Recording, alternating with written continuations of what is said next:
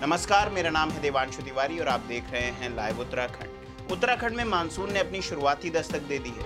Monsoon के आ जाने से लोगों को जहाँ भीषण गर्मी से राहत मिली है तो वहीं पहाड़ी क्षेत्रों में आपदा होने की संभावनाएँ भी बढ़ी हैं। आइए देखते हैं खास रिपोर्ट उत्तराखंड में तीन तारीख से मानसून दस्तक देने वाला है। और प्रदेश में मौसम विभाग से भारी से भारी बारिश का अलर्ट भी जारी कर दिया गया है।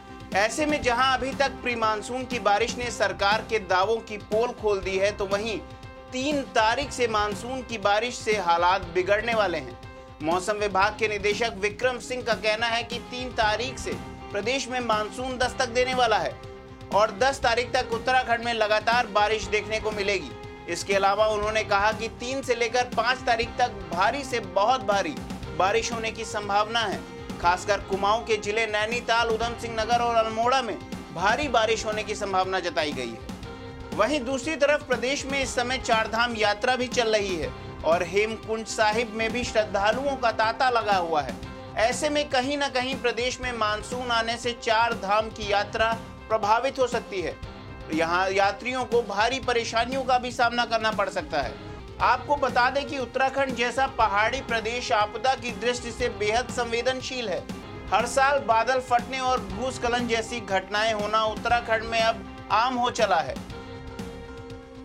हालाँकि सरकार मानसून से पहले हमेशा ही बाढ़, भूस्खलन जैसे हालातों से निपटने का दावा करती है। लेकिन मानसून आने के बाद सरकार के सभी दावे धरे के धरे रह जाते हैं।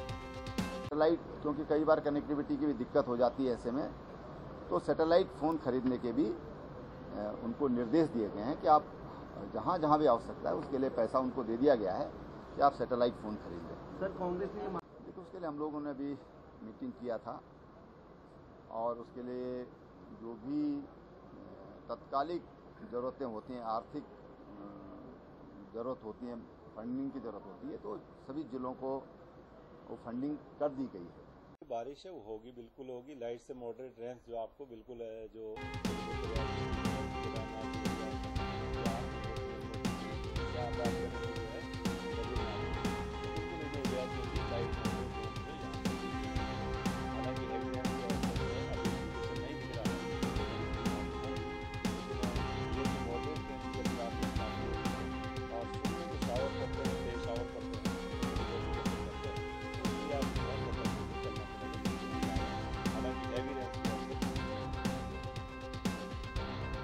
देवभूमि उत्तराखंड से जुड़ी बाकी खबरों के लिए बने रहें हमारे साथ और देखते रहें लाइव उत्तराखंड, खबरें उत्तराखंड की।